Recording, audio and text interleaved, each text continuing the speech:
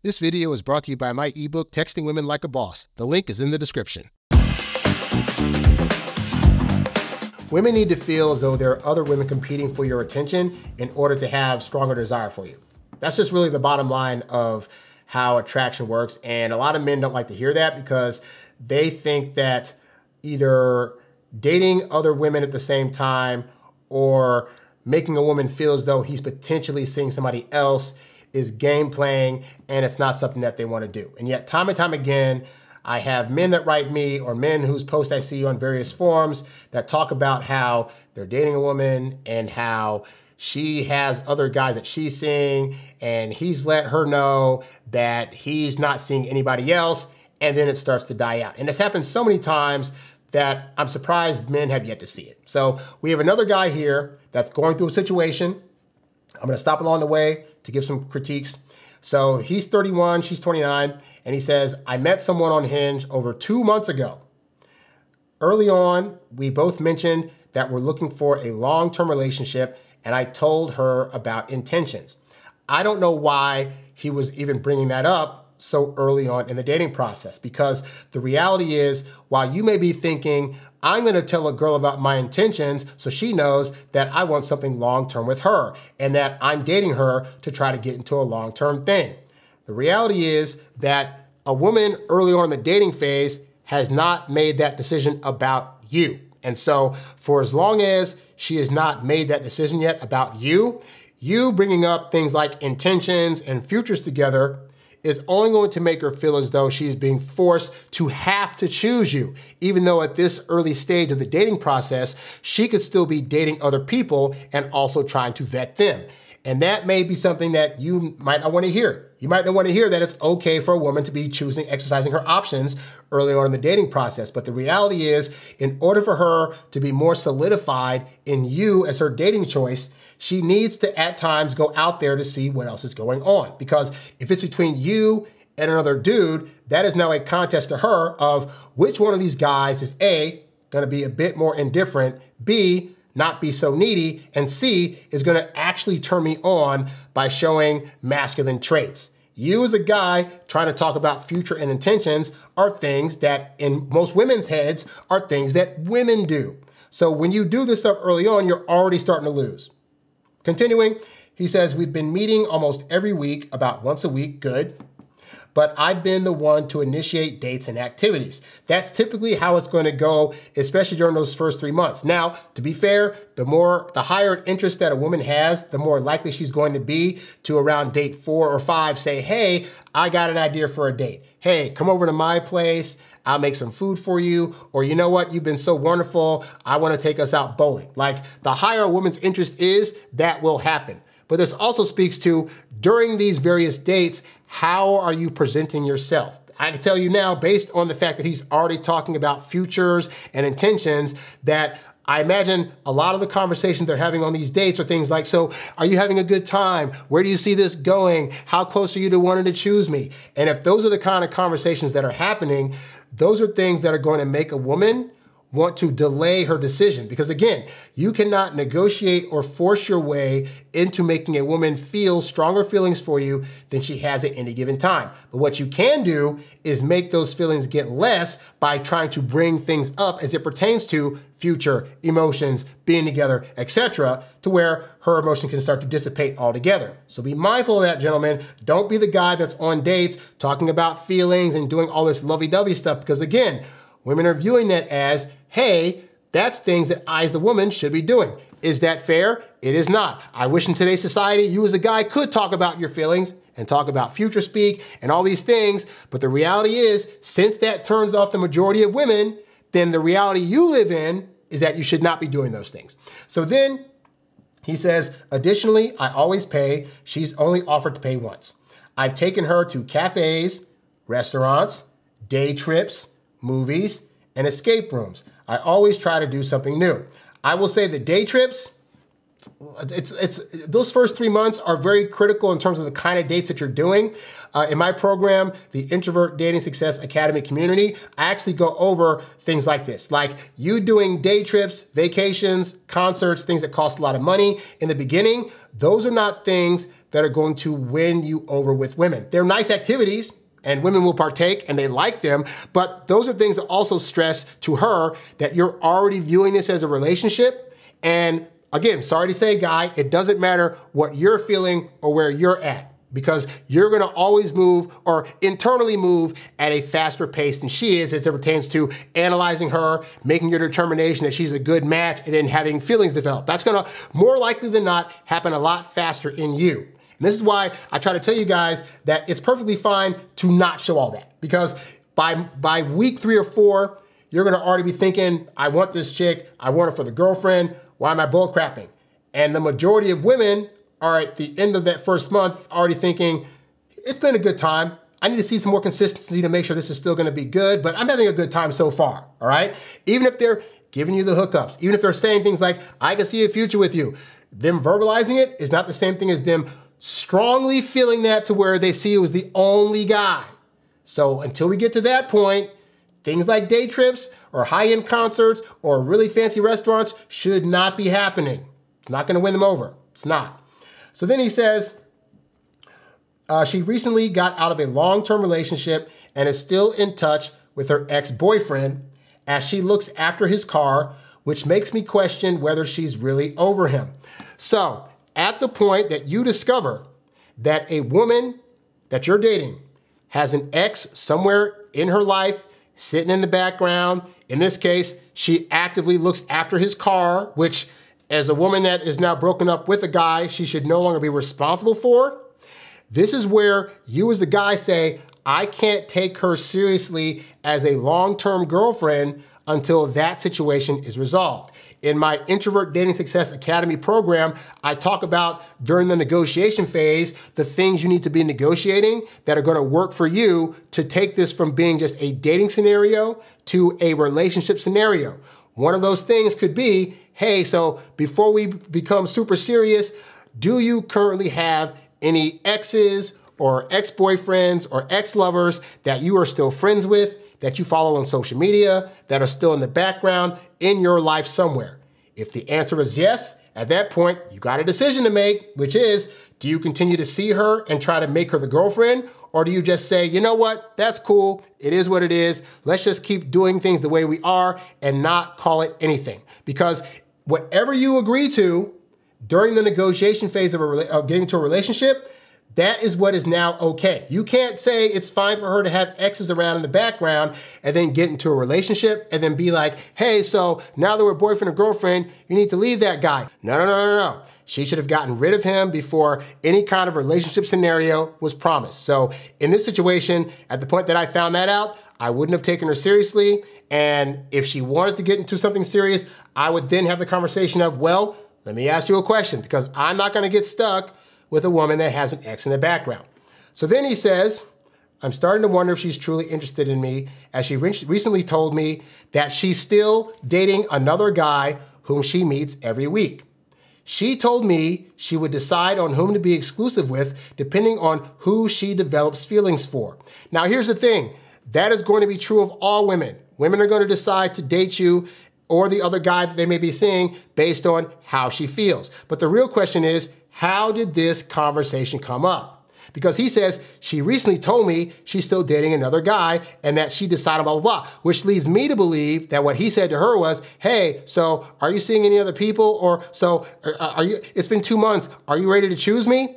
This is why, by the way, I, you know, women will fight me on this when I when I say to guys that they're the ones, the women are, gonna, are the ones that should come to us asking for a relationship. But part of that is because of this. Because when we as men go to women and say, hey, so we should be in a relationship, the posturing of that is one of a person that's coming from a weaker positioning because you're essentially going to a woman and saying, you know what, I'm not sure if this is working so far because I'm not getting reads from you that indicate that I have enough value for you to want to date me. So now I'm asking you to please let me know that I have value so that way I can feel assured that this is going to go somewhere.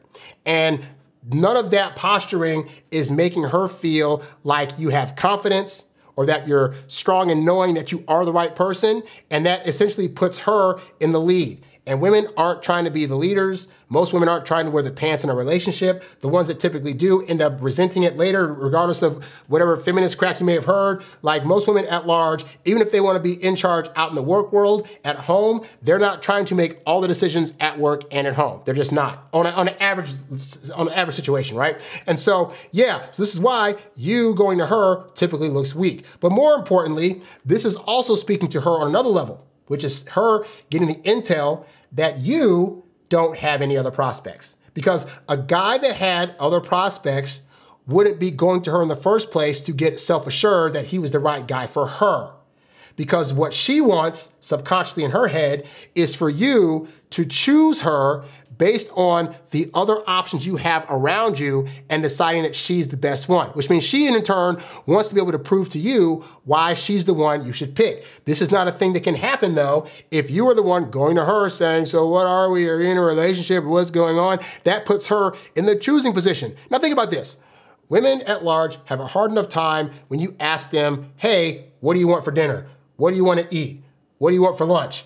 More often than not, what do they come back with? Well, I don't know. You decide. Oh, I can't make a decision. Why don't you pick for us? So, even on that little example right there, women are telling you, I want you to make the choice based on the best options you have available.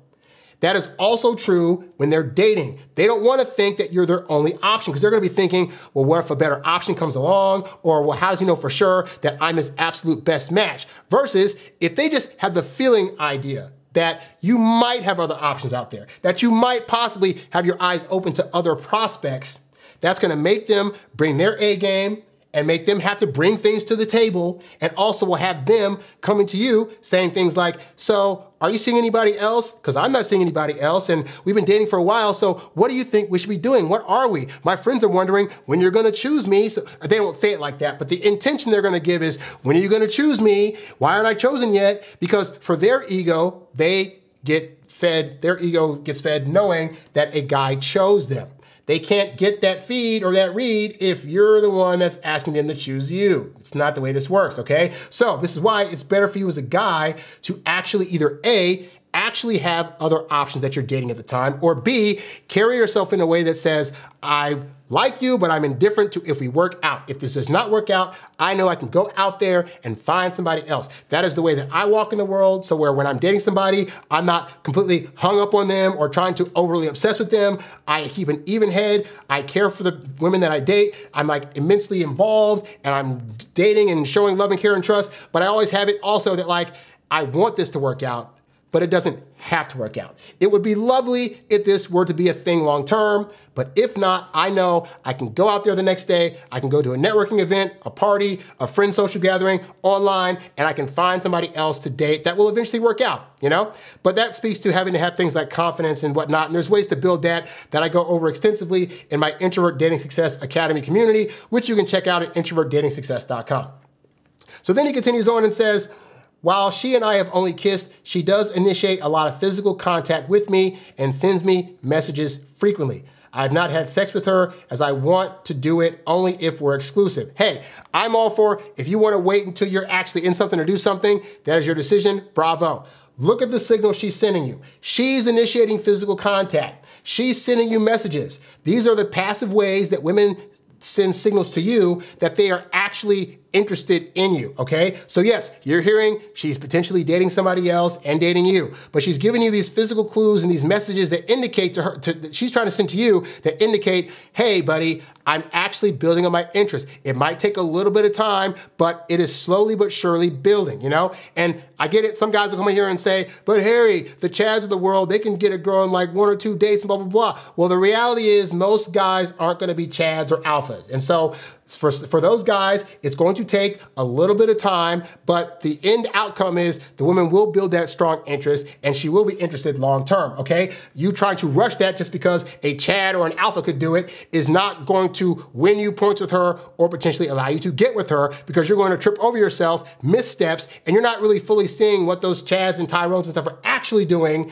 to hit at those women's core. So for you, you can, hey, I teach plenty of that too on like how to be that guy that's gonna be able to get a girl to hook up with you on a first date and a first kiss. But for the majority of situations, you're, you're, either that guy that can't do that, or there's also women out there that don't want to rush the process also. They want to take their time. Even with the Chads and Tyrones, they want to be like, well, wait, I know he's played other women. I want to take my time. That's a real thing as well, too, you know? Just something to consider. So then he says, Last night while we were walking together, I held her hand, but she seemed uncomfortable after a few minutes.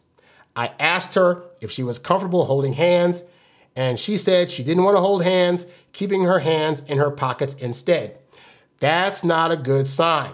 But what that tells me is that because for the past two months, you've potentially been a little needy and maybe uh, telling a bit too much about your feelings, a little bit too much about seeing a future with her, that now she's feeling like she's stuck. She feels like she doesn't want to hurt your feelings, but she's forced to be with you because she's already been with you up to this point. But her body language at this point is, is going to be your best tell. If she's not wanting to hold your hand, that's low level tier touching. That's already a bad sign. But that indicates that you've been doing a lot of the wrong things that have resulted in her being turned off. No bueno. So then he says, I'm beginning to develop feelings for her. Wrong. You've been developing feelings since the first time you met her. It's two months in, and your feelings are going overboard, and you don't know how to contain them. So you're trying to get them all out and explain to her why it is you guys should be together and if she's chosen you yet. And that's how she's able to read that you don't have it all together. And a guy that doesn't have it all together is not going to be able to keep women around long term. So then he says, uh, I, I begin to develop feelings for her, and, told, and I told her I'm beginning to develop feelings for her and told her that I've stopped seeing other women. Never do that. Unless they ask for the information, there's no need for you to volunteer that kind of stuff. Because again, she likes the idea that other women potentially are clamoring after you, but that you're the one choosing her over all those women. That feels better than, oh, I have no other options now. You're it especially when she has not got her feelings to that level yet. So then he says, I then asked her how long she intends to date the other guy before making a decision, but she couldn't give me an answer. Again, this is not one of those things that you can negotiate or try to talk out of women. The reality is, they're gonna date you and date those other guys until they feel more of a connection with either you or the other person. Guys get tripped up by that and think, I gotta make sure I'm doing all these things and rush her to feeling things so she'll wanna choose me. And that's just not, at least, at least I found, that is not typically the best way for you to attract women. It's, if anything, it's the best way for you to get to lose women. And I talk about that extensively in my book, No Girls for You, The Ultimate Guide to Losing the Girl of Your Dreams, which you can get as part of the Introvert Dating Success Academy community. Check that out at the website. So anyway, then he says, I just don't want to date her for six months only to be told she's choosing someone else. I feel like a second option. Most of our dates have been on weekdays in the evenings, and we've only met once on a weekend. I always pick her up and drop her off, but she has never once invited me inside. My interest in her is starting to fade. Is two plus months not enough time to get clarity on moving forward to something exclusive? Well, the problem is you're thinking after two months that it's your job to seek out clarity. What I'm telling you is if you are doing more of the right things and the wrong things during those first two months, i.e., you're taking her out, you're showing a good time. You're letting her come to you at times. You're not trying to press an agenda. Like you're not, you as the guy should never be the one trying to press that this thing that we're doing has to be called a relationship or this thing has to be moving towards a future or else you're just wasting my time or I don't want to be around you for six months and this still a thing. But see, the thing, guys start getting worried after two months like, oh my God, it's been two months and she hasn't said anything about being in a relationship. This is going nowhere. I, I can't take it anymore. Oh my God, I gotta, I gotta ask her. Now, I tell you guys, it takes two to three months. I remember I dated a woman one time and it was like 90 days exactly. We went out, had a good dinner, went back to a hotel, had a good time, and then the next morning, nothing. She didn't ask me about a relationship. She didn't ask me about what we are, nothing, right? So I'm thinking at this point, okay, it's been three months. She has not mentioned at all about what are we? Are we in a relationship? Nothing. What do I do? What do I do? And I said to myself, you know what? It it might take four months. Like maybe it'll take four months, but you just know that you know that you know that if you bring it up, it's not gonna happen. If you ask and she's not there yet, this thing's over, right? So I just said, you know what? I'm just gonna just I, am gonna I'm gonna follow my mantra. She'll come to me, she'll let me know. Until she brings up what are we, I'll leave it alone. the next day. Hey, Harry, so had a good time, that stuff, blah, blah, blah. So I just wanted to meet up with you to have a talk. Meet up, have a talk. Okay. Hey, just what's like, so like, so like, what are we? Like, my friends are asking, we just want to know what's going on, blah, blah, blah, blah. Oh, so she needed a three months and two days, but we ended up getting into a relationship and we dated each other for like a good five or six years, right? So I say this to say, guys, is that I, I, keep trying to press this message to you guys. Maybe you're new to my work or you haven't had the chance to actually test out some of the things that I talk about, all right?